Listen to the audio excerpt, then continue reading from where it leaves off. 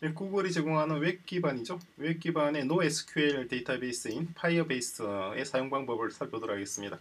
대략 한 30회 정도 나눠서 공부할 거예요. 주소는 firebase google.com입니다. 이걸 이용하게 되면 우리가 자체적인 데이터베이스를 구성할 필요가 없어요. 굉장히 편리하게 데이터베이스를 이용할 수가 있습니다. 오른쪽 상단에 자기 아이디 옆에 go to console 있죠? 이 버튼 클릭하시면은 자기의 console로 연결되죠. 아직까지 아이디가 없으면 하나 만드시기 바랍니다. 그래서 add project 혹은 기존의 프로젝트를 클릭하시고 그러면 이렇게 대시보드가 나타나죠. console firebase google.com console firebase google.com 이쪽으로 연결됩니다. 그래서 아이콘이 하나, 둘, 세 개 있는데 셋 중에서 우리 세 번째 그 선택을 하십시오. 이게 웹 앱입니다. 그러면은 여기 여기 어떤 나의 웹 어플리케이션과 서로 대화할 수 있는 어떤 뭐라고 해야 되나요? 어, 신분증, 일종의 신분증이 있죠. 이걸 카피를 하시면 됩니다. 카피해서 이따가 우리 우리가 작성하는 어, 웹 앱의 index HTML 파일에다가 어, 붙여넣을 거예요. 첫 번째 authentication입니다. authentication이 무엇인지 보시고 지금 제가 어, 두 개를 활성화시켜 놨어요. 이메일과 폰 두 개를 활성화시켜 놓고 나머지들은 지금 비활성화시켜 뒀습니다. 나중에 우리 웹 우리가 만드는 쇼핑몰이나 우리가 만드는 사이버 대학의 로그인 사용자가 로그인할 때 어, 사용자를 인증할 수 있는 방법으로 선택한 겁니다. 지금 사용자는 어, 우리가 지금 만들 건 쇼핑몰을 만들 볼 거예요. 쇼핑몰에서 사용자도 아직까지 아무도 없어요. 아쉽게도. 장사를 아직 오픈을 안 했죠. 오픈하게 되면 사용자들이 들어오게 될 거고 음, 쿠팡이나 티몬처럼 사용자 가입하고 이렇게 하게 될 거예요.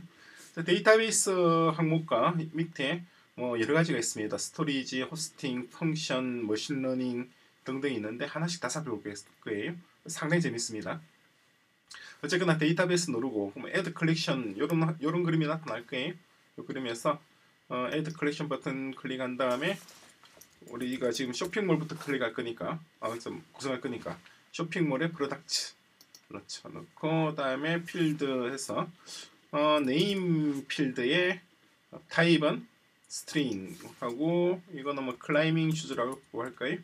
climbing shoes 그래서 예, 필드를 하나 더 추가하죠. price 가격은 string이 아니라 number로 해서 100 그리고 auto ID 있습니다. 아이디는 내가 여기다 무슨 뭐, 뭐 아이디 해서 뭐 1, 뭐 이렇게 넣어줄 수도 있는데 어, 일단은 구글이 제공하는 default auto ID가 있어요.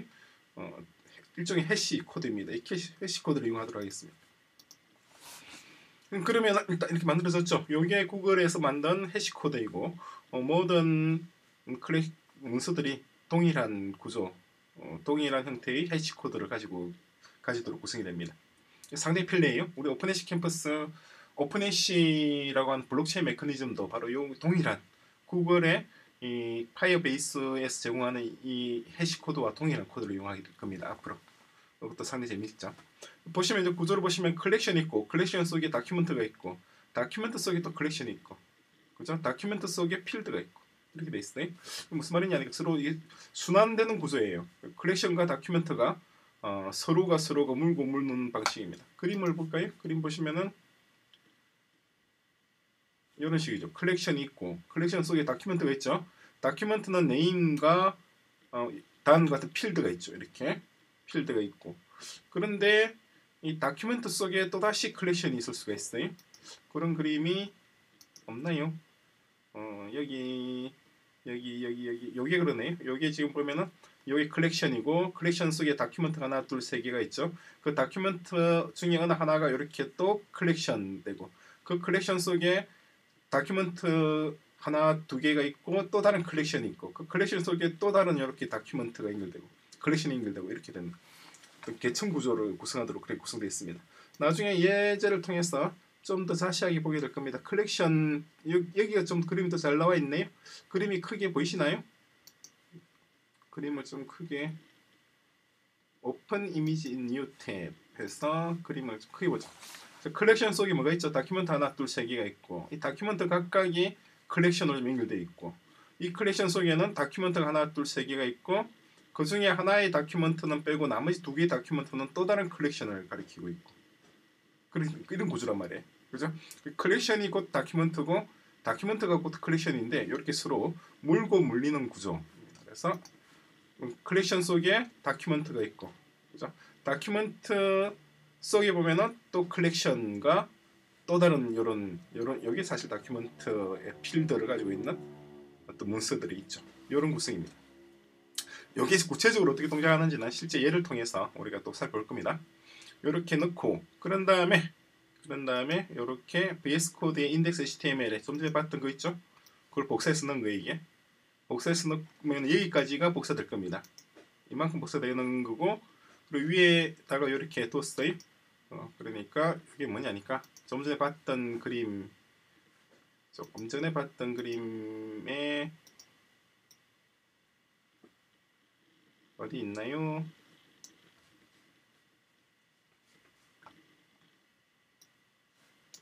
음, 여기죠. 요거 클릭했을 때 나왔던 겁니다. 잘못 눌렀네.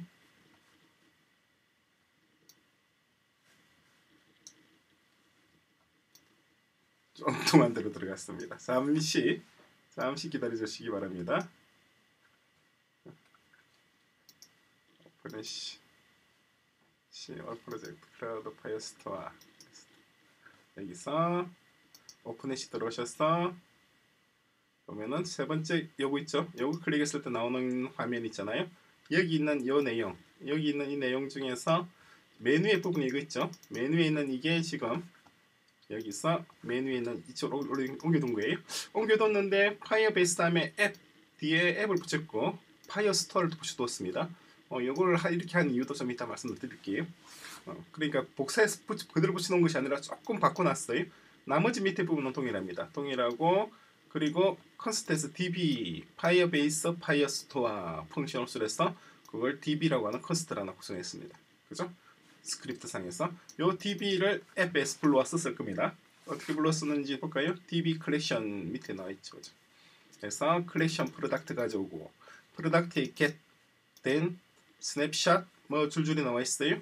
그렇게 해서 만들어진 결과가 지금 보시는 이 화면에서 이 화면이 됩니다. 보면은 좀 우리가 만들었던 climbing shoes 이게 지금 그 화면이 그대로 맞나요? 이걸 한번 다시 이렇게 해서 보죠.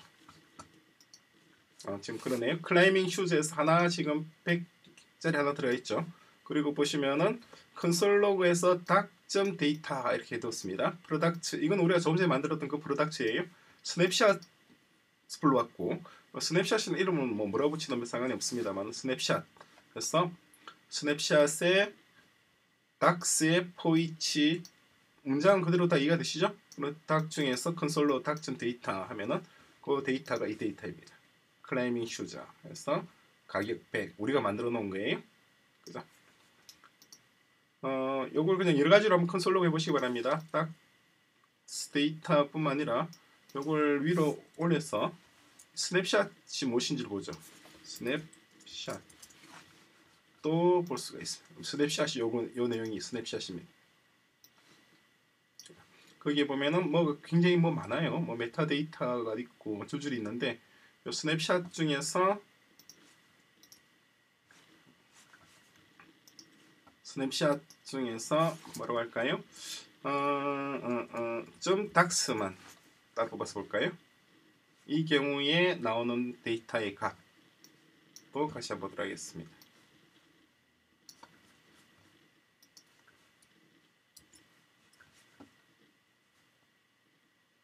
요거였던가요? 보면은 이렇게 t 하나 달랑 있죠, 그죠? 그래서 length가 1 나와 있습니다. 요게 snapshot의 docs 지금 내용입니다. 그 외에는 아무것도 없어요. 데이터 일단 length가 1인 것만 봐두시기 바랍니다. 우리가 만약에 좀 전에 봤던 여기에서 지우고 다시 한번 데이터베이스에 들어가서 하나 더 추가를 해보겠습니다. 데이터 항목을 여기 있죠. 여기서 add document 이번에는 어, name에서 climbing shoes 말고 cycling shoes 자전거 사이클링 하는 슈즈를 넣고 마찬가지 필드에 price number 100 110을 할까요? 자, 하나 더 추가했습니다. 이번에는 climbing shoes 문서가 document가 하나에서 두 개로 늘어났죠. 그죠? 이렇게 해놓은 상황에서 여기서 그대로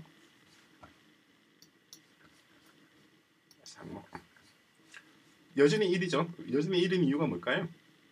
아직까지 우리가 여기 있는 코드를 안 바꿨잖아요. 그렇죠? 지금 live server 돌리고 있는 중입니다, 여러분. 포트 500 적혀 있죠, 그죠? live server 127.0.015500 이전에는 npm start를 했었는데 이번에는 live server를 돌리고 있어요. 그래서 보시면은 아직까지 문서의 내용이 아무것도 바뀐 게 없으니까 여기 있는 게 reload 된 게 없어요. 만약에 이것을 한번 바꿨다가 바꾸면은 바, 내용이 지워졌죠? 다시 한번 다시 붙여넣게 되면 이번에는 보시면은 어떻게 되나요? 2로 바뀌었죠. length가 2 그러니까 두 개의 데이터를 이제 가지고 있는 지금 구글에서 그대로 가지고 있는 데이터를 가져온 겁니다. 가져와서 보시면은 climbing shoes 가격 100, cycling shoes 가격 120 이렇게 가져왔죠. 어떻게 동작하는지 기본적인 알고리즘이 눈에 들어오시죠. 그래서 여기 있는 console log 같은 것을 이용해서 다양한 데이터를 한번 console log 해보시기 바랍니다. 그러시면은 어 여러 가지를 알 수가 있어요. 예를 들어서 스냅샷 닥스의 데이터 닥 닥의 데이터 이건 펑션입니다. 데이터 펑션을 썼을 때 나오는 거 보시면은 첫 번째 climbing shoes 나오고 두 번째 cycling shoes 나오죠. 그죠? 지금 그러니까 우리가 만든 이 웹 어플리케이션과 구글의 파이어베이스 서버 간의 서로 대화를 통해서 데이터를 가져와서 그 데이터를 화면에 지금 뿌려주고 있는 겁니다. 그렇죠? 그리고 이 위에 있는 그림들은 다 기본적인 HTML 문법이니까 별도로 설명하지 않더라도 여러분, 여러분들이 보시면 바로 이해를 하실 수 있을 겁니다.